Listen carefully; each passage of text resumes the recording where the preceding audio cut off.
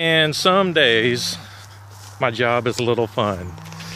I'm watching a cow poop as I run her back into the pasture. Yay me.